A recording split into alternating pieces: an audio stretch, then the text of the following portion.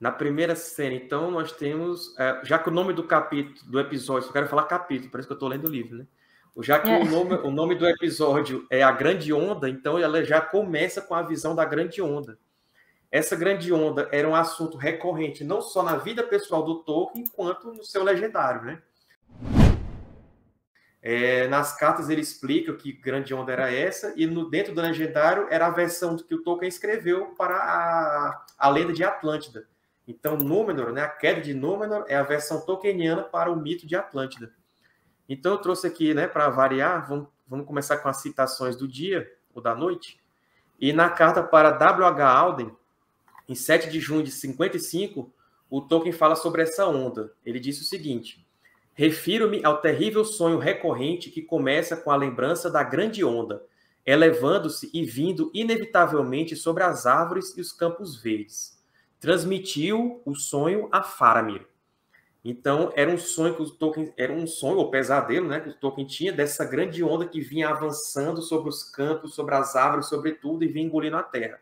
E aí o Faramir tem esse sonho também lá dentro do legendário de Tolkien.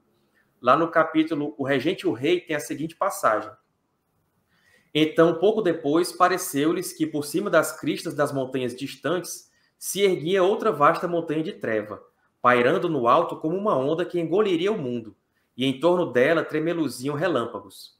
E então um tremor percorreu a terra, e sentiram palpitar os muros da cidade. Um som semelhante a um suspiro subiu de todas as terras em torno deles, e de repente seus corações voltaram a bater. Isso me lembra Númenor, disse Faramir, e admirou-se de, de, se ouvir falando. Númenor, indagou Elwin. Sim, respondeu Faramir a terra de ocidente que só sobrou, e a grande onda escura erguendo-se sobre as terras verdes e acima das colinas e vindo, escuridão inescapável. Muitas vezes sonho com isso. Então pensais que a escuridão está vindo? perguntou Elwin. Escuridão inescapável? E de súbito ela se aproximou dele. Não, disse Faramir, olhando-a no rosto. Era apenas uma imagem na mente. Não sei o que está acontecendo. A razão de minha mente desperta me diz que ocorreu grande mal e que nos encontramos no fim dos dias. Mas meu coração diz que não. Todos os meus membros estão leves e me vieram uma esperança e uma alegria que nenhuma razão pode negar. Elwin, Elwin, senhora Branca de Rohan, nesta hora não creio que alguma escuridão possa perdurar. E se inclinou e beijou a testa dela. Então, olha aí, nós já vimos a onda na, na, na vida do Tolkien, que ele puxou para o legendário, aí o sonho do Farm, e o Farm já faz o link com o Númenor. Então tem, a, tem mais uma citação aqui já da, do Akalabeth, que está lá no Silmarillion, que fala o seguinte, né? Já que o, o, a grande onda seria também, além de ser um presságio do mal que chegou, também o, o fim e a queda do reino Númenoriano. E aí está lá no Akalabeth. E por último de tudo, a onda que subia, verde e fria e com penacho de espuma, escalando a terra Tomou em seu seio Tarmiriel, a rainha, mais bela do que prata ou marfim ou pérolas. Tarde demais ela tentou ascender aos caminhos íngremes do Medeltarma, até o lugar santo, pois as águas a alcançaram e seu grito se perdeu no rugir do vento. Esse é, é o fim da nossa querida Miriam. Já foi um spoilerzinho para quem não leu os livros, mas... É fazer o quê, né? No TT, é. gente, é muito é difícil. Só spoiler não ter spoiler. E assim, a gente esse final, esse final da Miriam tá no Silmarillion. A gente não sabe se eles vão copiar, porque não tem, talvez eles não têm direito sobre o Silmarillion, né? Eles têm direito sobre os apêndices, os anéis e algumas coisas pinceladas dos contos inacabados do Silmarillion. Não necessariamente eles vão colocar esse fim para Miriam, mas no livro é assim. Ela tenta, é, tenta se salvar subindo ali os Meneltarma na montanha sacra e tudo, e não consegue, a onda chega e engole ela. Né? E já na série a gente está vendo ela naquele salão, né? Tá tendo uma celebra um, um, ritual Benção das crianças. É. Bênção das crianças, né? Que inventaram aí para a série.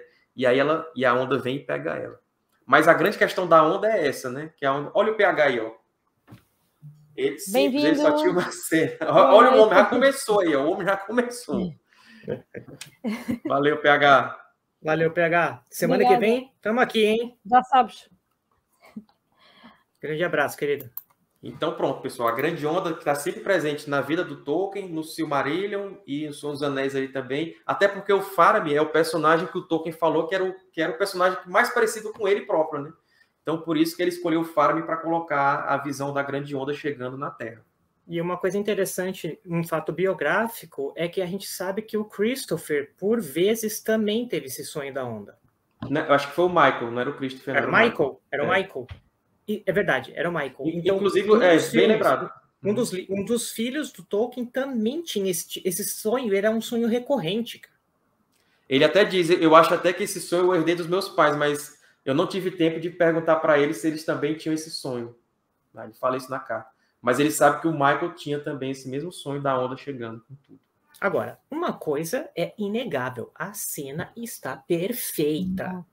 A forma ah. como ah. a onda arrebenta, como tudo desmorona, cara, você fala, isso é um CG excelência, cara. É o que uhum. você espera de quem tem dinheiro. Adorei essa cena. E pelo que eu vi aqui no chat, todo mundo gostou. Uhum. Ah, e já, já espere isto, ou melhor, quando, quando a onda for a verdadeira e não a visão da Miriel. Porque se a cena tá. for assim, meu Deus. Quando forem quebrar o mundo, eu quero ver o, dinheiro do berço sendo jogado na minha cara. Nas assim, ondas. Na, na, nas ondas. Ficou linda, na boa, ficou linda. Essa aí é a cena mesmo ou é arte conceitual? É a cena, né? É, é a cena. E é engraçado, porque ontem, na live de easter eggs. De, de easter eggs, o Sérgio falou dessa, dessa forma aqui, né, do mirante, mas o mirante é propositalmente em forma de quilha, né? Ou seja, uhum. em forma de, de barco. Então parece que de fato a grande ilha, ou esse pedaço, esse promontório, é até um pedaço de um navio que está sendo engolido, né? Uhum.